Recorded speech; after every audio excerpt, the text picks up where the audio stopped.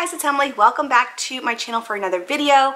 We are doing a puzzle haul today. These are all the puzzles I purchased during Black Friday. There's way more than I was expecting to get, so I thought I would do a haul video, show you all the things that are coming into my collection. And there are so many good puzzles here. There's a lot of new brands that I'm going to be trying. There's just a lot of fun images, and I'm excited to share them with you. So I'll try to link whatever I can down below, and we're just going to get into this. So I'm going to scoot to the side and show you all the puzzles that I got during Black Friday. So the first stack of puzzles here are these ones from Art & Fable. They came wrapped, which is kind of fun. Um, but they were doing a tiered sale where it's like 25% off, 30% off, or 35% off depending on how much you spent. I ended up getting 30% off my order, but what was cool is that a couple of the puzzles I purchased in there, oh, I don't remember the section of the puzzle site it's pretty much where you can find puzzles that aren't 100% correct, so they may have a damaged box. I ended up getting a couple that were on sale that were just missing the cellophane, which to me, not a big deal whatsoever. I'm going to throw the cellophane away anyways. So I did get a couple that were already on sale. I want to say they were like 20% off or so. And then on top of that, I was able to get the 30% off. So on a couple of these, I got a really good deal. So I'm excited about it, but I honestly, I don't remember the images that I got. So I have one, two, three, four, five from Art & Fable. But let's just open these up one by one and see what I got. I love that they wrapped it. It just makes it super fun, especially if you were like shopping for kids. It makes it so that they can't peek if they open up the box. Um, so this one here, oh, this is one that I did get from that little section where it was a sale on top of a sale. This one is called, let's see, A Tale of Two. Ooh, this image is super fun. So this is a 500 piece of theirs, but super fun image, lots of color. Um, it looks like there's just a bunch of people on tight ropes. So that will be a fun image. Let's see, the artist is Maria Brozovsky. And this one, I think, will be really fun. I love the 500 pieces of theirs. That one looks easy enough that I won't have too many issues, especially with smaller piece count. Um, next, we have this one. I like it's Christmas morning. Should just have Dave like put these under the tree. Um, oh, this is the, the other one that was the sale on top of a sale. This is called Mantis Mundi.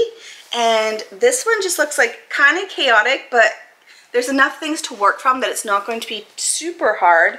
Um, but here is the image there. There's just like a ton of different bugs. The artist here is Robert Connet and it's just like vibrant and colorful. Again, there's enough textures and different animals and creatures that there's enough stuff to work from. So I don't think I'm going to have too many issues as far as false fits goes, just because there's so much stuff to do. So this one looks really fun and ah, I love it. Um, let's move on to puzzle number three. Um, this is one of their new collection and I was watching the live on Instagram when they were like announcing their collection. And this one I instantly love. This one is called Love Someday by Ron Treskin. I probably butchered that. Um, but this one is just like, again, bright, colorful, very cartoonsy but the image is just, I love the colors of this one a lot. Um, there are some sections that may be tricky, especially like these like navy blue areas, but I feel like there's enough variation in color that it would not be too bad, you know? Um, so I feel like that would definitely be the hardest part, but I feel like everything else would be, there's like enough stuff to work from. Oh, I love this one so much. Let me see. Each one of Art & Fable's puzzles goes towards a charity. Oh, this one goes to Make-A-Wish. That's cool. What are the other ones? This one is the Amazon Conservation Team or ACT. And then this one is going towards UNICEF. So each puzzle does support some type of charity, which I always think is super cool of them. Um, moving on to number four. Oh my gosh, I love this one so much. Um, this one is called, let's see, Art Cafe it's so quirky and fun. So we have like this giant Victrola and we have a, like a keyboard and then it's like a little cafe scene with like the city. But the city has like a lot of weird things like the bookstore has like a stack of books on top. Um, it's just quirky. You know, again, enough stuff to work from that I don't think I'll be stuck. Pretty fun image. And this one is for Habitat for Humanity. Let me tilt you because I feel like I'm slouching. I think that's better. Okay. And then finally, our fifth one. So this one is also from Ron Chereskine and it is from their newer collection. And this one is called Peace. Again, similar colors and vibe. I just love the sentiment of this one and the colors and the vibrancy. Like this one I feel like will be so much fun. Um, again, nothing too too crazy where it's like kind of chaotic but also enough stuff to work from where I don't think I'll be stuck anywhere. So this one looks absolutely lovely and the charity is Make-A-Wish. So those are all five puzzles from Art and Fable that I got. I'm excited to get some of their newer stuff because I feel like everything I have is from like once upon a time and their images are just like feel like improving over time. Um, next, let's go into this random stack of stuff and then I'll go into all the things that I got at Puzzledly. So I'm just going in order of the stack that I have here. First up, not from Black Friday, but it was sent these from it was it's micro puzzles, but it, was sent for Puzzle Warehouse. So they're now having them on their website, and they did do a collaboration where I think two of the micro puzzle images are actually for Puzzle Warehouse, which is cool. So they sent all the ambassadors these little boxes with a bunch of stuff in it. So I haven't really gone through all the puzzles, but let's see what's in here. So first up we have a little pin of their doggy. They also gave some puzzle socks, which is awesome because I don't have a lot of socks. And this would be nice in the nighttime when it's chilly in here.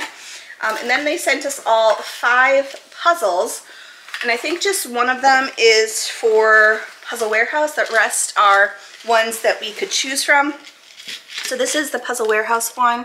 Has the St. Louis Arch, and that one looks super fun. I love the gradient sky on that one.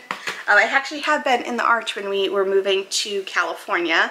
Um, this one looks so much fun, also kind of tricky. I just realized the name of these puzzles are not on the tube, so I'll put them on the screen. Um, but this one here is like a bookcase with a ton of different books in it, which looks super fun. This next one is, oh, it's from their National Park line. Um, but I got this one because it was one that I had gone to before. Love the colors on that one, looks super bright and vibrant. And then I did get two of their Christmas ones. We have this one which is like holiday cookies or something like that. It says Happy Holidays with a bunch of different cookies, which looks super fun. And then we have this one which is like a nice vibrant just Christmas tree. And so love like the collage craziness color that is in that one. So those are the five that they sent me. Um, definitely set on micro puzzles for a while. But I will say these pieces are just easier to work with than other micro puzzles that I've done. Like recently I'm doing the Reverie micro advent calendar, which I feel like is just so hard to handle. These ones I feel like still have like a sturdiness to them so I don't mind them as much. Um, but they are now, again, available on Puzzle Warehouse if you are curious. So if you don't want to like pay shipping or anything from micro puzzles, you can just like add them to your cart if you're going to Puzzle Warehouse anyways, which is great. Um, so excited to share those with you and I'm super excited about the socks. I don't know where they got them from. Next move on to a little stack from Bits and Pieces which didn't work out the way I was expecting. So Bits and Pieces was having like this mega sale on their website. They had a ton of puzzles on clearance and they were just like so many good deals. And I was like, had originally like seven in my cart of like puzzles that were just really good deals. They weren't necessarily puzzles I was like excited about, but I was like, oh, cute image. It's only $6. I'll put it in my cart. And then I realized like the whole reason I wanted to shop on Bits and Pieces was because they have a new piece cut that I've been really wanting to try. And of course they were not on sale. So what I ended up doing was only buying a couple of the sale items and then getting the ones that I actually wanted because it ended up being the same amount, amount that I was going to spend. First up we have this one which is actually Masterpieces which I didn't realize. Um, but we have a Masterpieces puzzle that I got from them. And this one is super cute. It's called Peace on Earth very similar to the one I did last night, which is also Masterpieces, but it's this beautiful like town scene. Love the colors of this one. And I really enjoyed the one that I did last night, so I feel like this would be totally up my alley. Love that blue sky, of course. It's big enough, I mean, it's only 300 pieces. It's not going to be difficult, But isn't that like just a nice sweet winter scene? You know, it's not too Christmassy. Um, oh, I got an Oliver. Hello. You want to say hello to the people? Say hi. Oh, he hates being picked up. hi, baby boy. Oh, sweet boy. Okay. The next puzzle I have here is called Spring Meadow Cove. I think I got it for like $6, which was great. Um, the colors just spoke to me. It just seemed like a nice, simple design. And I remember the price was right, but there's that image. Pretty classic, more traditional than I normally go. But it's bright and colorful and very like honey easy. Kind of reminds me of Maine and love the colors. It almost looks like it has like a woven texture to it. But I just felt like that image was super cute. And then the two that I got that I'm so excited for, it's from their Cloud 9 collection. So it's their new piece cut, which is just like crazy and wonky. And I'm so excited to do them. But this one is called Great Horned Owl Eye. It's very, very close up. But isn't that so fun? Um, not an image I would normally go for, but I feel like for only 280 pieces, it's very doable. And I'm not used to this piece cut, which you can see on the box there. So I think it'll be a really fun video to experiment with these. I have done something kind of similar. I had those honeycomb pieces that I did, um, but it looks like it would be a really fun time and just like different. So I'm excited for those. And then the second one you're not going to be surprised about. It's called Hot Air Balloons and it's 493 pieces and this one just looks absolutely phenomenal. Like with the crazy piece cut and the gradient sky and the hot air balloons, like doesn't this just scream me? Like I am so excited for this puzzle. So I am happy that I only got the few and they're ones that I actually want to do than just like getting a ton of puzzles because of the price because it really wasn't gonna save me money if I never end up doing those puzzles. And this is by Ravensburger. I got this one from Amazon. Like look, that color, super fun. I love that gradient pink so I feel like that would actually be pretty fun for me to do. And of course we have the Disney characters there. I ended up getting this one crazy on sale. So it was on Amazon and they only had like a certain amount of puzzles that were available.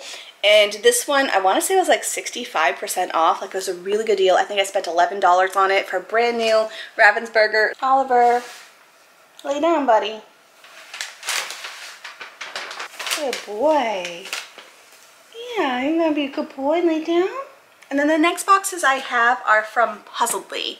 This is a website that I have been like drooling over for months because they have so many fun different brands on there that I've never heard of or have never done. And I keep looking at their website at least every few weeks or so just to see what they got, but I never have purchased them. And so when they were having this big website sale, I was like, ooh, now's my chance. And so they had a 30% off the full site, which was awesome because there's so many brands on there that I would love to try, but I didn't want to buy just like one or two at a time. So I ended up buying like a whole bunch and I'm going to be able to try so many different brands and I'm so excited for it. So uh, here we are with my Puzzledly haul. I have, I think, 10 from this website. I'll link it down below. I'm sure you already know what it is. So first up we have their actual brand, which is called Puzzledly. And I have done them before. I have enjoyed them before. Um, not a brand I would typically like buy full price, but this one was a good deal. This one is a, a, little strange as far as like the concept and color, but this one is called Snow Darn Cold, and this is the image. So it's kind of quirky, you know, because I'd expect like blues and greens, but this one is like yellows and reds for a snow puzzle, which is an interesting choice. But I liked that it wasn't like too difficult. There's a lot of stuff to work from. And I did like the colors. It's just like a weird concept. So this one was actually on sale for $5. Um, but it, on top of that, I was able to get the 30% off. So I only spent like $4 on this puzzle, which was such a good deal. So I ended up just adding it to my cart because why not? Um, it is only 500 pieces, I believe. Uh, yeah, it's only 500 pieces, so, you know, it'd be a fun little Christmas puzzle that, like, breaks out of, like, the traditional snow and Santa scenes. So, you know what, I'll try it, and the price was right.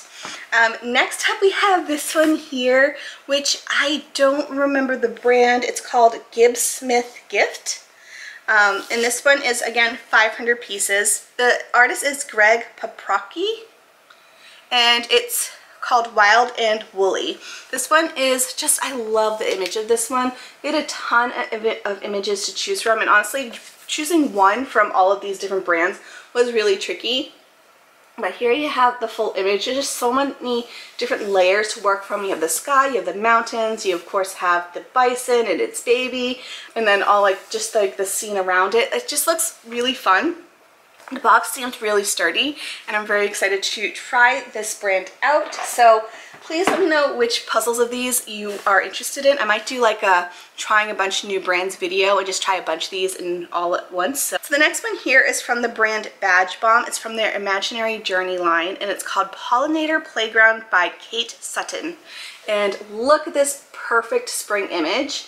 You have this really fun patterned rainbow. And then we have all the little butterflies and birds and flowers. Like it's such a fun little springtime scene. And what I enjoy about this 500 piece, the box is so compact, but it's still really sturdy. And I feel like this is like perfect. If you're short on space, like this is absolutely perfect, but the size of the pieces, if you can see, is still like a traditional piece size, which is like great. So I'm excited to try this brand out. It does look like they have a lot of sustainability things, have 1% for the planet, so lots of good things going for that brand. This one I think is from Willow Creek Press. They don't have any branding on this box, but I'm pretty sure that's the brand. And it's called In the Jungle. I've only done one others from there, which was like something about donuts, but it's a really fun puzzle and I really enjoyed doing it. So I got this one which is super fun. Um, it is just like a sloth with a bunch of other animals and a crazy jungle scene, but I like how the jungle is just like a bunch of different patterns and colors. So I feel like this will be super fun to do. And again, only 500 pieces, so not a crazy time commitment. And I know I will like that one. Next up, I love the box of this, and I don't have the full design here. Um, it's not on the box, but it's by Elyse Breanne Designs, and it's 500 pieces as well. This one is called, I don't know, I'll try to find it on the website, but here it is. Like, look at that box design. Isn't that gorgeous? Like, I feel like this is the type of brand that would be beautiful as a gift because it just looks lovely, you know? Um, but the back really doesn't have any information on it. It's very, very simple box design. Would be a great option on like a coffee table or on a bookshelf, but love this one. And I'll have to, again, put the full image on the screen so you can see. And then I did get one from Reverie.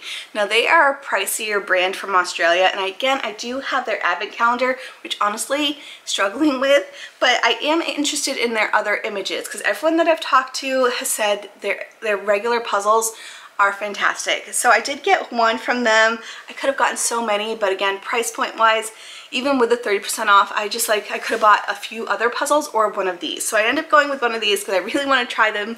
And so this is called Stories by the Campfire.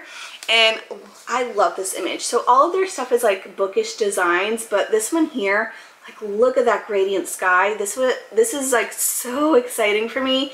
And of course me and Dave love camping, so this is just calling out to me. And they do just have like a couple books there that they're reading and they're just like playing by the campfire with some coffee. Like this just sounds like a good time to me. And again, the colors of this one was why I chose it. And I feel like I'm going to love it. Oh, there's a hot air balloon. Look at that. Oh, screaming out to me. I know I'm going to love this puzzle, so I'm excited about it. Um, and then we have two puzzles which were also a good deal. Again, they had some things that were on sale and you could do the 30% off on top of that. So these puzzles are by Inner Piece. They're normally $30. They were on sale for 15 and then I got 30% off on top of that. So I got two of them. This one is called Vacation Puzzle and it's very abstract. We have just like all these fun colors and like geometric shapes on the back.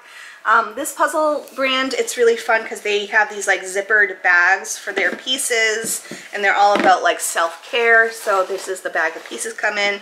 And I just, I'm, I'm wanting to love this brand a lot because I just think it's super cute. Again, easily could be on like a coffee table or a bookcase and be a really fun display option. But this image just looks super fun.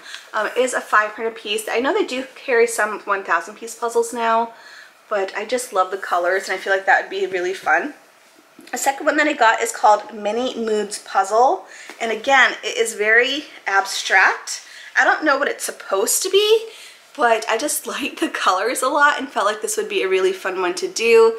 So that is the second one that I got from them. And then finally, the last puzzle, I did order through Puzzledly, but it was sent from New England Puzzle Works. There were two that I was really toying between.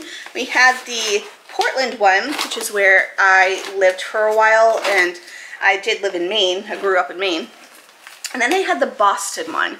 I ended up going with the Boston one just because I liked the, the image a little bit more. The Portland one is very like lots and lots of green, where this one had I feel like more things to go by. Um, but this one is called Boston, Massachusetts. It's a very small brand. They only have a couple of images. Let me move this so you can see. But I like the little bow. That's fun. Um, but I have traveled to Boston quite a few times. I've gone to the Museum of Science, like I've done a lot. I feel like Boston was like our go-to destination for like a lot of school trips. So this one is super just nostalgic to me. Also, the USS Constitution my grandfather worked on when it was still called Old Ironsides. So I'm excited to do this one. Again, it's a brand that I have been like eyeing out for a while because the images just seem so nostalgic and fun. Um, but I'm excited to, do this one. Um, but that's it from me. I hope you enjoyed this video. Thank you so much for tuning in. Again, I'll try to link what I can down below for all these puzzles. And I will see you guys in the next one. Bye guys.